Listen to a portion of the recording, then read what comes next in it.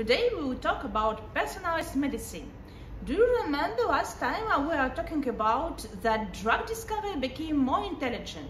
That's a nice example, personalized medicine.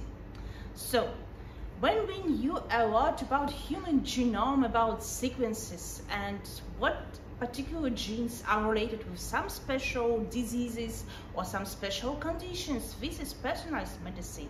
The best example are women which have BRCA1 or BRCA2 mutation, they will develop breast or ovarian cancer in 50% of cases.